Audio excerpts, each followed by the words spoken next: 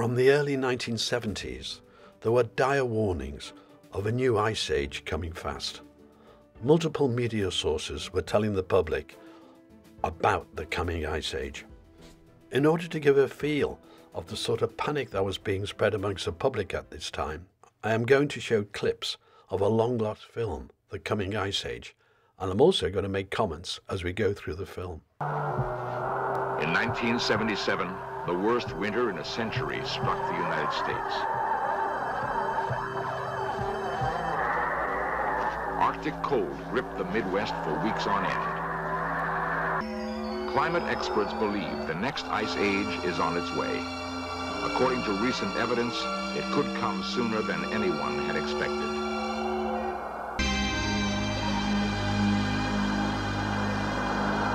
And weather stations in the far north, temperatures have been dropping for 30 years.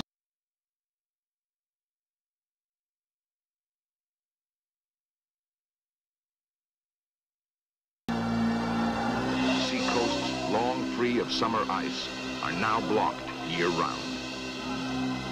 According to some climatologists, within a lifetime, we might be living in the next ice age. Most of the inhabitants are Inuit Eskimos, whose ancestors migrated west from Greenland a thousand years ago.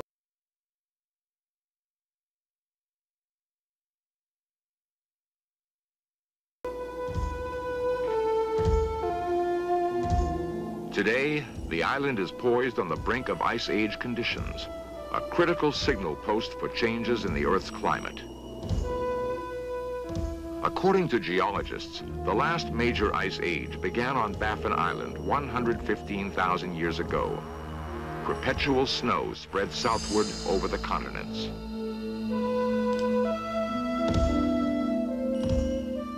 The weight of many years of snow compressed into ice.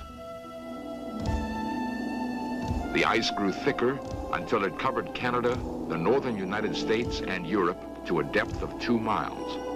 For 100,000 years, the ice remained over large areas of the continents.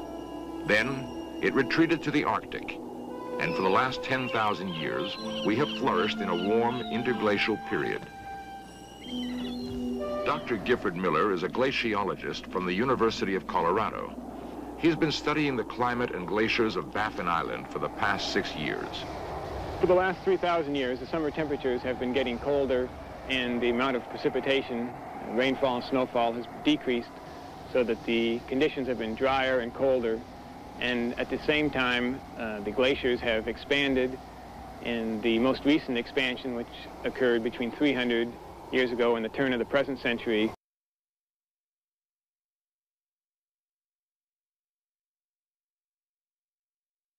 the glaciers attained their most extensive positions that they had during the last 8,000 years. The summer of 1972 was one of the uh, most severe summers on record, and the ice never melted that summer. And when I returned to Broughton Island, one of the local settlements here, talking to the Inuit people, and they could only tell me that their fathers had told them of a time when the ice hadn't gone out.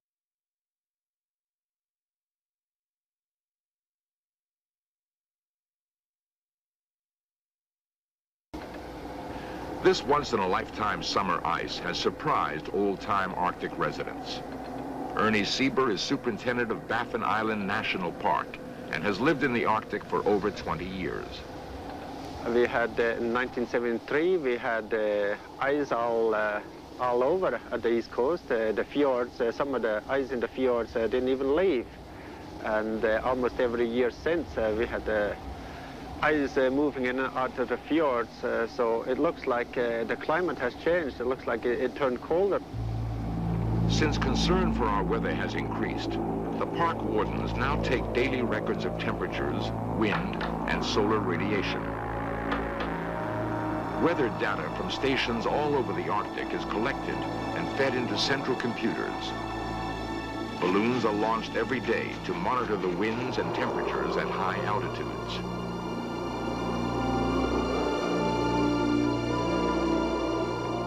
The data shows that average temperatures in the Arctic have fallen dramatically over the last 30 years.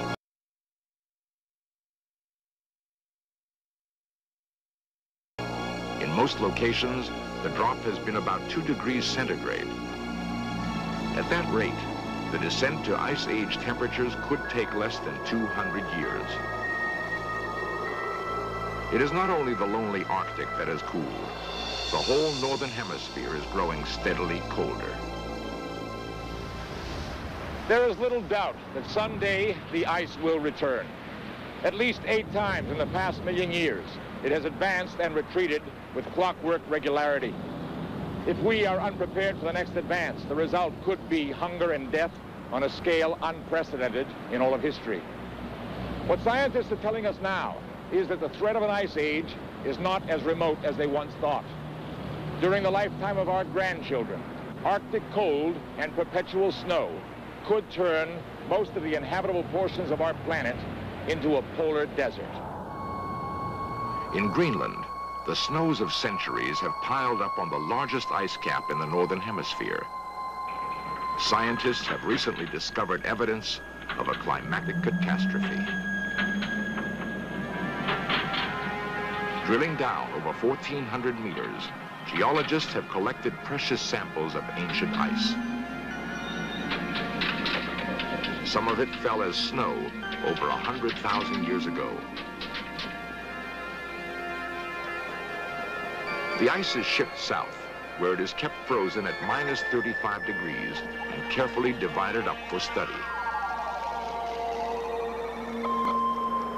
By separating out the two forms of oxygen in the ice, scientists have been able to chart the temperatures when it fell as snow. Near the bottom of the ice cap, they found traces of widespread freezing occurring with dramatic suddenness.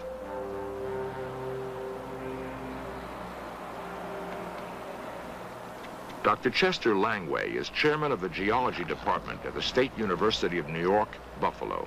We have evidence from the ice core studies that approximately 89,000 years ago, the global climate changed from one of greater warmth than today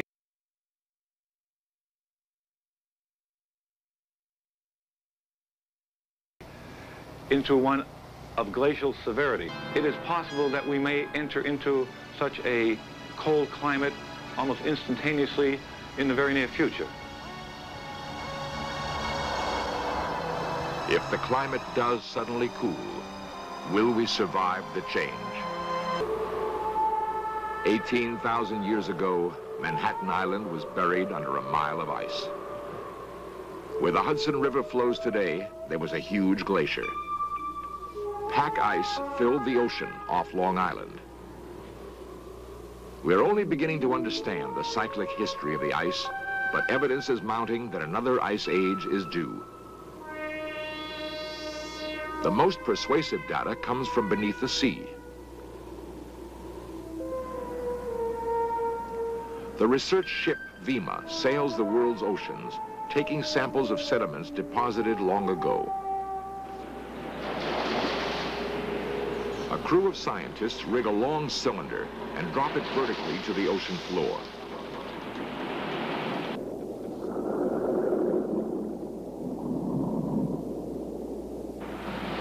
Cylinder dredges up mud from the seabed in the form of long cores. The types of tiny fossils found at different levels in the core shows the sea temperatures of the past. Geologists have collected enough sea cores to form a detailed history of climate during the last million years. The cores are analyzed at the Lamont Doherty Geological Laboratory of Columbia University.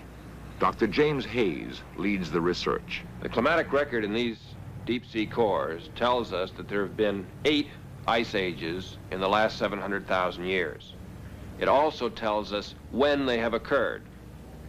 This provides us with a test of various theories of the ice ages.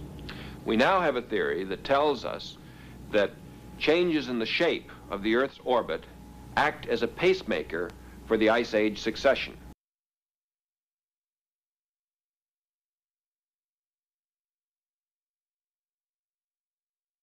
Since this theory can precise, precisely predict when ice ages occurred in the past, which can be tested against these deep sea cores, it also can predict when ice ages will occur in the future.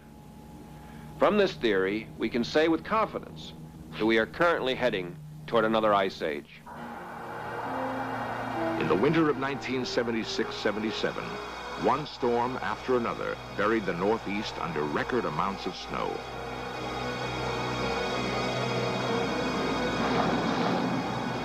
Months of brutal cold made much of the nation seem like the Arctic. In Chicago, temperatures hovered at 19 degrees below zero.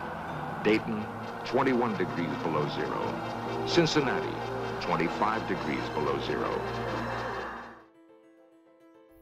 But just as today, with scientists not all agreeing on the global warming alarmism, not all scientists agreed in the 1970s on the coming ice age. But enough scientists agreed on the coming ice age to actually write as a group from a conference to President Nixon with a letter warning him of the coming ice age. We've just shown you overwhelming evidence of the cooling of the planet from the 1940s to the 1970s. And as you have already been shown, this cooling was across the entire northern hemisphere. And whilst the evidence in the southern hemisphere was meagre, it certainly extended as far as South Africa. So it was a pretty worldwide phenomenon. And they were humming a now familiar tune, a tune that demanded world government to cope with the Ice Age coming problem. But all these predictions were wrong. And the world, now in the 80s, started to warm, just as it had done in this report from 1902, with the Arctic warming caused the build up to some very hot times and the 1930s. Hence, there was a clear warming cycle up to the 1930s, and then the 1940s cooling and the 1980s warming. And looking at this USA 1999 NASA graph, you can see how the temperatures work. They, they built up from the 1900, and there in 1921 you have the big peak as detailed in the newspaper report you've just seen, and there again in 1936, another big peak. But the averages there show a build up to the 1930s and just into the 40s, and then we start to decline, just as we've seen in the film. There's a decline since the 40s for about 30 years to the 70s and during the 70s. But then it started to pick up again. So what we're seeing is cycles. Now, there's a problem with this 1999 chart from NASA. It didn't reflect the growing CO2. In other words, why, when the CO2 was very low, was it hotter in the 1930s than today? Well, clearly the alarmists couldn't allow this. So you're not going to believe this, they adjusted all the temperatures going back in history. And the result was this graph. So in the space of just two years, there's been a major change in the historic temperatures. Now, the 1930s here are a much lower temperature than the year 2000. You see, now it more or less conforms to the CO2 rise. So, how could anyone have changed the temperature graph so much? Making it to the same scale, just let's look at the two temperature curves. Well, for a start, they do away with the 1921 heat wave. It's pretty cold in 1921 according to this chart, and of course, whilst it's warmer in 1936, nothing like today, which is absolutely absurd. It just ignores all history and all the temperature records taken at the time. Then, instead of the nice sharp drop we had in the Ice Age comet from the 1940s into the 70s, whilst there is some drop, they have minimized it, trying to flatten it out a bit. Just ignores all the history. But after this, in fact, they start to, instead of be lowering the old temperatures, they start to increase them. And let's look at how all this was achieved because what they've done is depress the heat of the past before 1940 after the 1970s cooling period.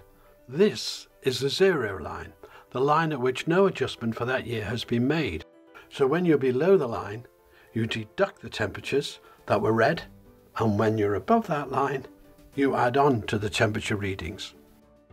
So what is being claimed here is quite absurd that all the people like before 1940 managed to overread the temperatures, so all those had to be deducted and lowered.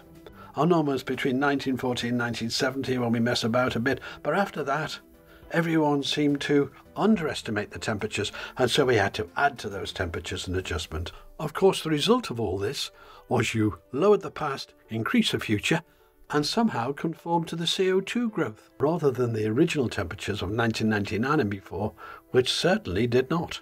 Then, lo and behold, we now have the blue dots as the temperatures, and that straight line as the CO2 growth, so they can publish the graph showing that CO2 causes that direct temperature rise.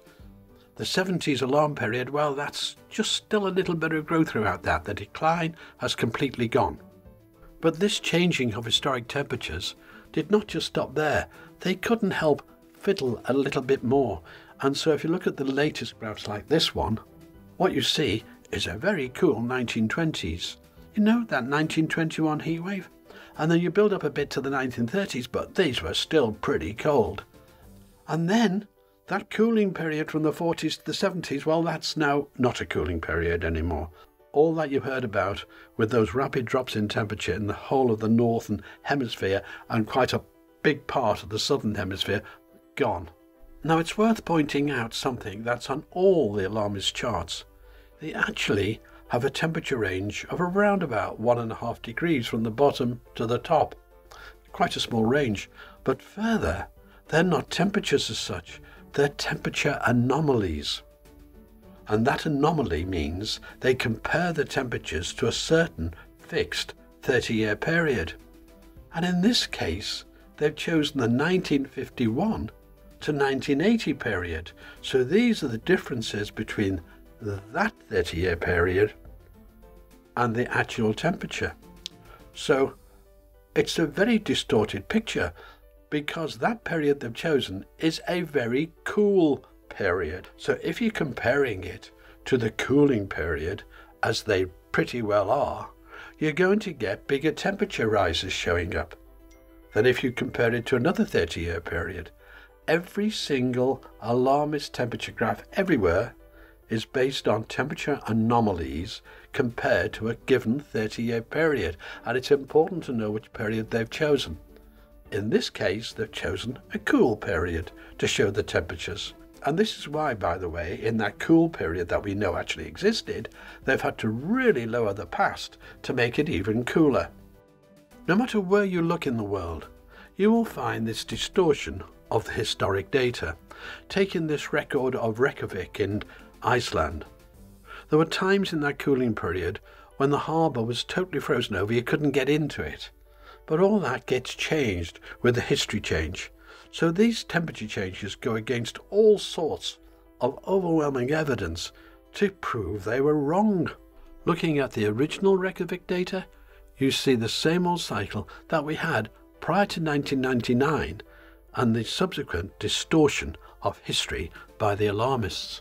This original temperature graph is in degrees centigrade straightforward, and it shows pretty high temperatures in the 30s and 1940-ish. But look, after this adjustment, a simply massive deduction in temperatures to meet the agenda. We are now in a world where you cannot trust the media.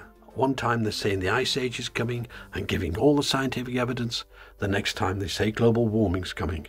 What we don't have these days is an honest debate because the alarmists do not allow it.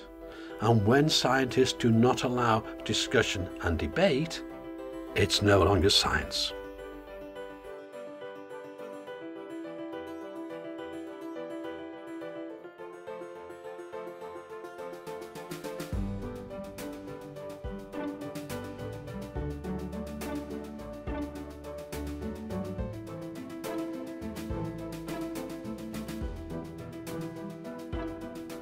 Was privileged quite recently to be able to challenge the author of the best selling climate alarmist book out there. And when I challenged him on the data that he compared his theory against, his scientific work against, he couldn't answer me.